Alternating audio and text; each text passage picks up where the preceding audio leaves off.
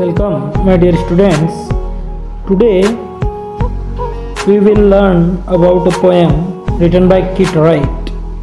हम आज एक पोएम पढ़ने वाले हैं जो किट राइट जिसके पोइट कौन है Kit Wright okay dad and the cat and the tree यानी पिताजी बिल्ली और एक पेड़ ठीक है so this poem is about dad and cat and the tree okay so have you ever seen a cat climbing आपने कभी किसी बिल्ली को पेड़ चढ़ते हुए देखा है पेड़ पर चढ़ते हुए? Sometime a cat may climb too high कभी कभी बिल्लियाँ बहुत ऊपर चढ़ जाती है and get stuck in tree और वो पेड़ों में फंस जाती है।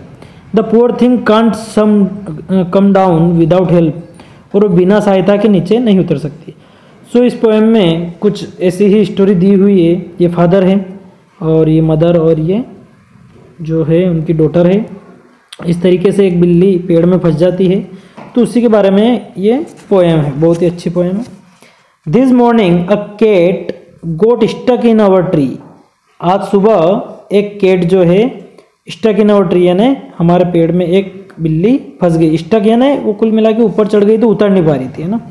Dad said right just leave it to me ठीक है, ये मेरे ऊपर छोड़ दो. The tree was wobbly tree थोड़ा टेढ़ा मेढ़ा भी था।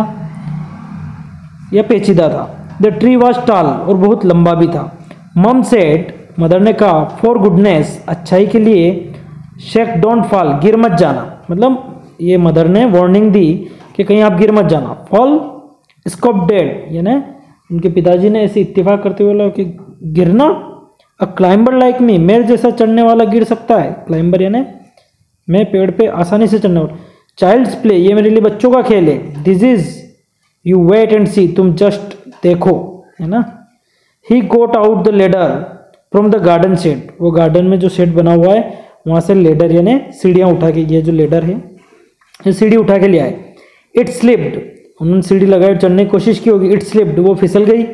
He landed in the flower bed और डेड भी उसके साथ साथ में जो फ्लावर नीचे हैं, उनके ऊपर गिर गए। नेवर माइंड यानी फ़िक्र मत करो। सेट डेड पिताजी ने कहा। ब्रशिंग द डर्ट यानी वो धूल साफ़ करते हुए off his hair and his face यानी उनके जो मुँह और चेहरे पे धूल लग गई थी, क्योंकि वो उसमें झाड़ियों में गिर गए थे and his trouser and his shirt वो अपने कपड़ों से और अपने चेहरे और बालों में से धूल हटाते हुए बोल रहे हैं कि नेवर माइंड यानी टेंशन मत लो। विल ट्राई प्लान बी हम प्लान बी ट्राई करते हैं। यानी प्लान ए तो क्या हो गया, वो सीढ़ी लेके आए। अब वो क्या बोले?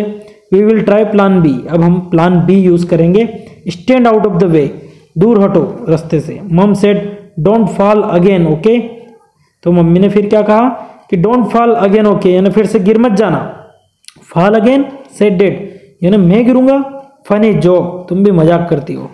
Then he swung himself up on a branch और फिर उन्होंने अचानक खुद को एक डाली से झूला लिया। Swung himself on a branch यानी पेड़ की एक डाली थी, उससे खुद लटक गए। इट ब्रोक और वो डाली टूट गई। Dad landed wall off back on the deck और वो झाड़ियों में गिर गए। Mum said stop it, you will break your neck. तुम ये मत करो, अपनी गर्दन तोड़वा लोगे।